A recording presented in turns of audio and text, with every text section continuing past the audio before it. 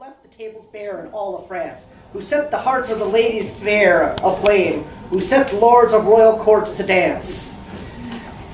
Wow. That may, may be a to be or not to be to my book.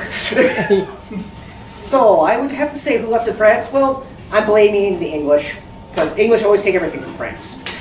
So, with that, I would say it was an English invasion, and of course they're all dancing because now everything's eaten and drank, and they took all the ladies. and maybe a few Spaniards, I know a couple here.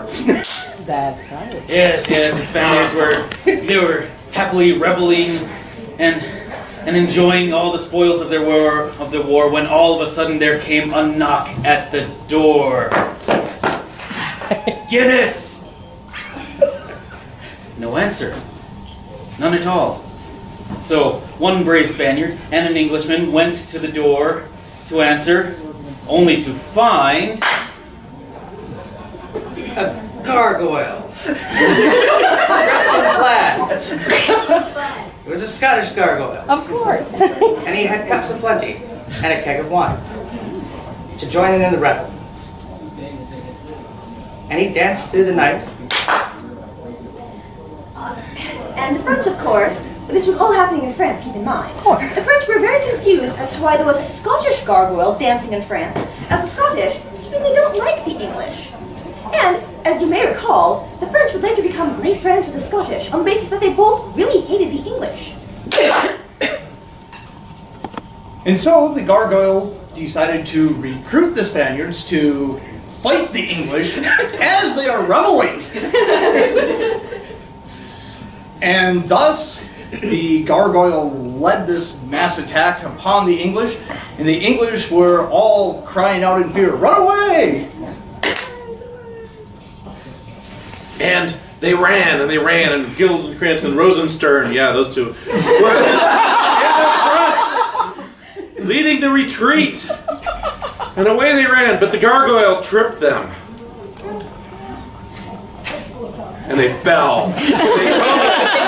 They and they tripped the lovely ladies who shrieked. Oh my gosh. tripped the lovely ladies, right? Oh, golly. But the lovely ladies slid for feet and feet. But the gargoyle helped them up while the French followed close behind. Right? The French are still here, correct? Oh, yes. Presumably. Except there's the gargoyle chasing the Frenchman. And the Spaniard way behind saying, Esperen me! so the Spaniard missed out on all the fun. and the English, of course, ran screaming from the hall, taking all the food with them, leaving the tables bare. Bare as they could be. And the ladies, who were, we should remember, French, found their ways back home quite safely, with tales of how horrid the English were. They don't bathe. don't bathe? Well, something's foul in Denmark with that, because the Danish prince suddenly arrived. oh my Yes, Lord Hamlet, how good to see you here. How is your father doing? Too soon. It is well. It is well with my father. No, I have newts. No, I have gargoyle. Oh, but, but soft, lovely ladies. Let's go that so they chased after the lovely ladies, calling out, Jessica, Jessica, come back! and, let's see, these were what, French?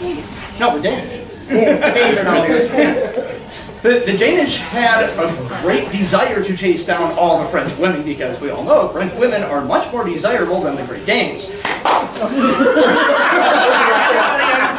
because that's how the party goes. Oh,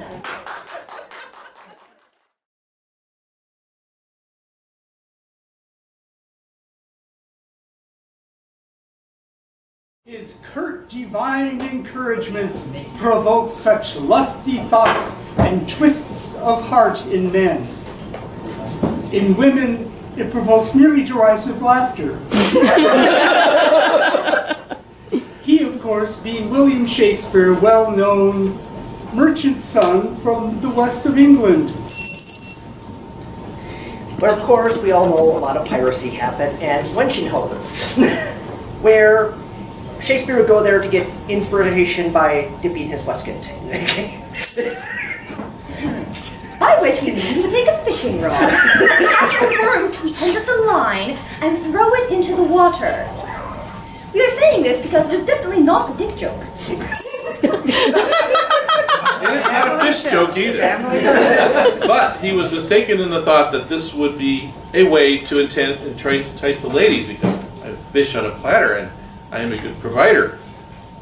And that didn't work. And as he as he sat there fishing, he looked up and saw a sort of crude raft floating down the river Avon. That being, course, where he lived. Um, and on this raft, there was a young man, well dressed, proclaiming things out loud as if there were people to hear him. It was clear from the start this man was mad. It was also clear from the start this man was Scottish, due to his accent. Which, considering he was in England, the two word, things do mean the same thing.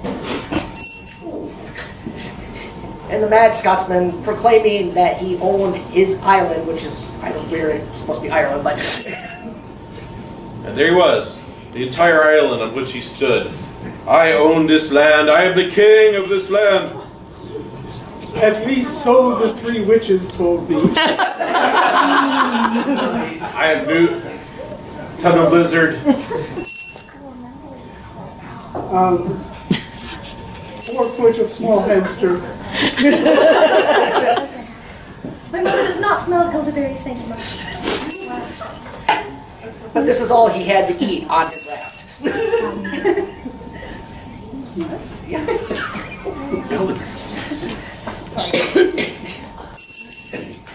And so he ate the elderberries, and he threw the elderberries into the water, and he proclaimed his righteous wrath against all who would challenge his kingdom on which he stood. Unfortunately, because of his thick border accent, nobody could understand a word he was saying. And the finale?